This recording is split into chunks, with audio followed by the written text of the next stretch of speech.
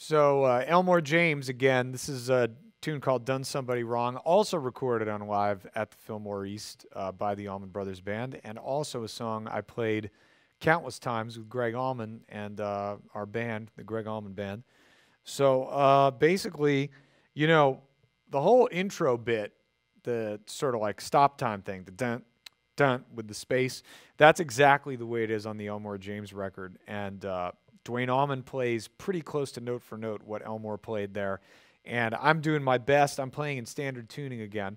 We're in the key of C this time, so basically I'm working off all the same stuff I went over in the key of D, but just drop down a whole step to C is basically what uh, I've been doing on this song. Um, I did add a couple extra bits here and there, of course.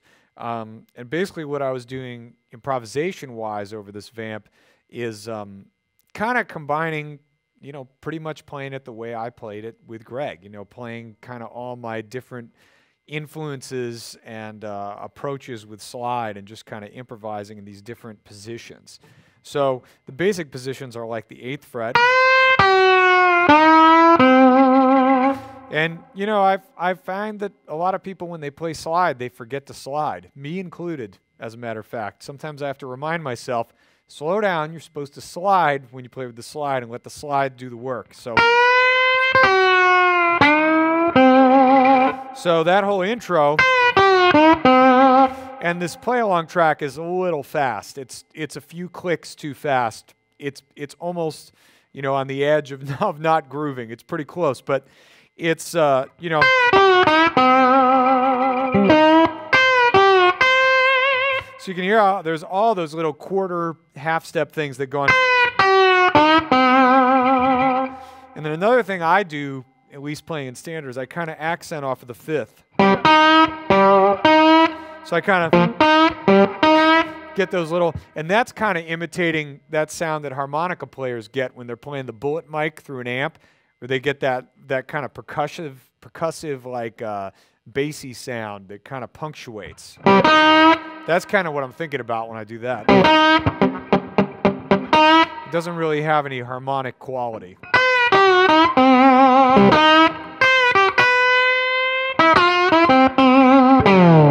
Again, there's another one.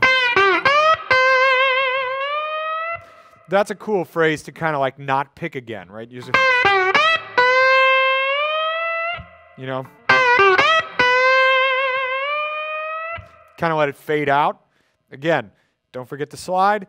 Don't forget to let the slide do the work, and you can find some interesting things.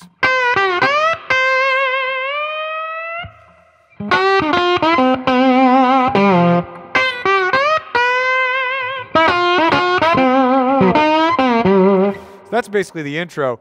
And then I was playing some things up top. You know, you can work off of that blues scale and the flatted fifth in C in the extended patterns here. And then going up, playing the same shit you'd play here. But up here.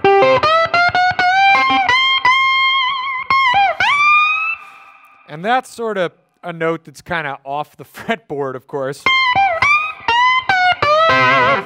I tend, when I'm playing slide, a lot of times I use a Harmony Bobcat, which is a really incredible cheap guitar uh, that sounds ridiculous with slide. And with that, I raise the action up a little bit, and it's really easy to get to those higher notes. I haven't quite figured out how to do that as well on this guitar, but.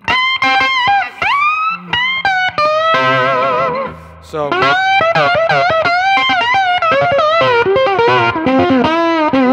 That kind of run that I was doing, I'm basically going through.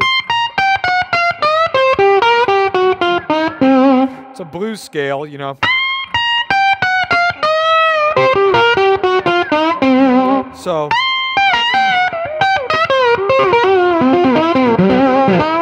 And I, I think those note combinations, it sounds kind of like a, I'm kind of going for something that sounds like a cross between a pedal steel guitar, which of course is in a very strange tuning, and a, a, a harmonica, like a Chicago blues style harmonica. So you get the. Thank you.